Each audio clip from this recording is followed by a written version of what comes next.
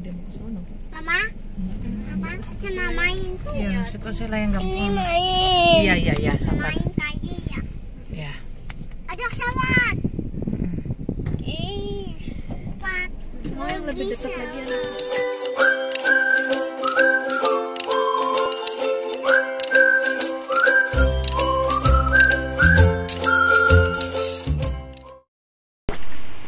Assalamualaikum warahmatullahi wabarakatuh. Jumpa lagi dengan Fang Fang Love.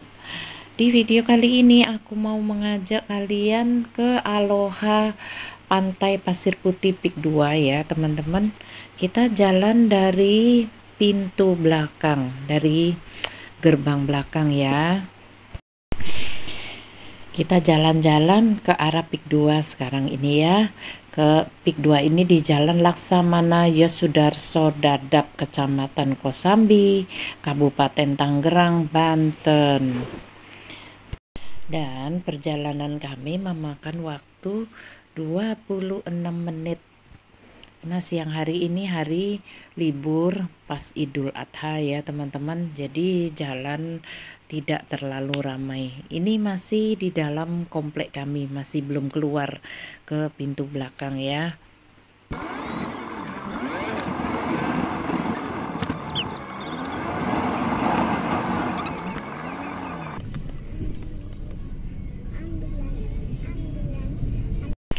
Nah ini kita sudah uh, melewati gerbang pintu belakang.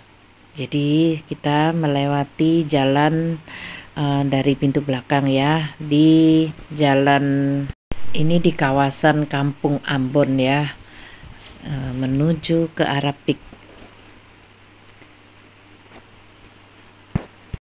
Saat ini kita sedang menelusuri jalan Pantai Indah Barat ya. Buat teman-teman yang ingin ke Aloha Pantai Pasir Putih ini disarankan menggunakan kendaraan pribadi ya. Karena di sini belum ada kendaraan umum yang masuk di men eh, yang menuju ke Aloha ini. Jika naik mobil dari arah tol Jagorawi, kita bisa mengambil rute arah tol Jor lalu menuju jalan tol lingkar luar sejauh kurang lebih 20 km. Setelah itu lurus terus sejauh kurang lebih 26 km dan keluar di arah Lionian Gol Indonesia. Lurus terus kurang lebih 9 km sampai bertemu Buil Abaik Pantai Indah Kapuk di sebelah kiri. Kemudian belok ke kanan Lalu lurus lagi melewati jembatan Pik 2, Pantai Pasir Putih Aloha. Pantai Pasir Putih berada di sebelah kanan jalan. Nanti di perjalanan ada petugas yang bisa mengarahkan kita uh, ke tempat tujuan ya teman-teman. Jadi kita nggak perlu cemas uh, sampai ke tujuan. Oke, itu adalah sedikit keterangan tentang perjalanan menuju ke Pantai Pasir Putih Aloha ya teman-teman. Selamat menonton.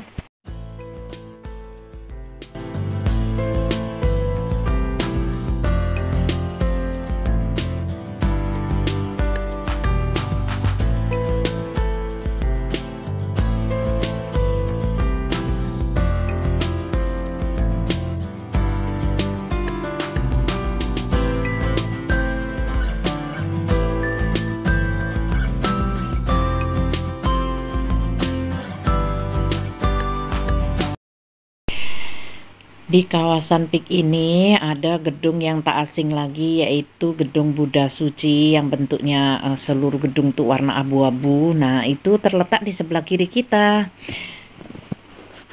Ini karena aku pakai tripod jadi uh, agak sulit untuk ke kiri ke kanan ya, teman-teman. Kita lurus terus setelah melewati gedung uh, Buddha Suci ini lurus terus sampai ke depan nanti ada jembatan ya. Kita akan menaiki jembatan Linggi Pik 2 ya teman-teman. Jembatan Linggi ini adalah pintu masuk keluar Pik 1 dan Pik 2 di sebelah sana di sebelah kanan ini adalah uh, dari Pik 2 menuju ke Pik 1 jadi ini satu arah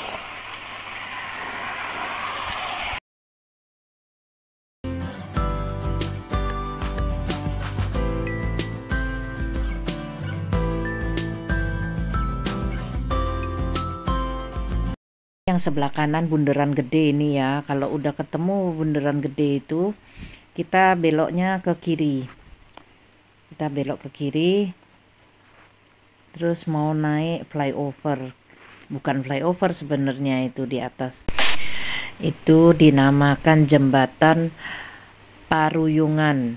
Nah ini kita akan menaiki jembatan Paruyungan Di lokasi ini dulu banyak anak-anak Jakarta melakukan berbagai aktivitas seperti jalan sore, bersepeda, jalan-jalan, membawa hewan peliharaan, dan berfoto-foto.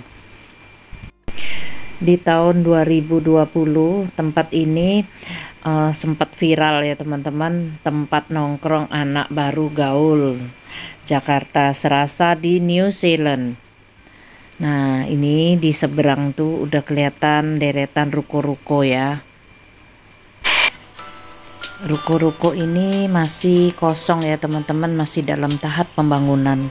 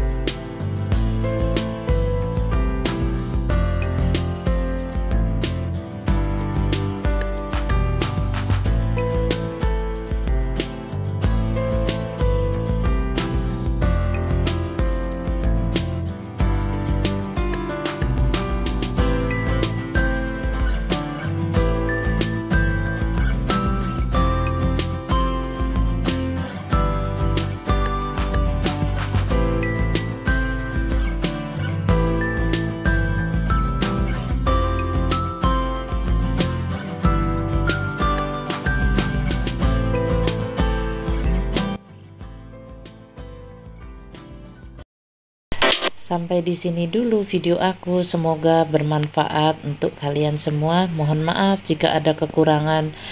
Wassalamualaikum warahmatullahi wabarakatuh.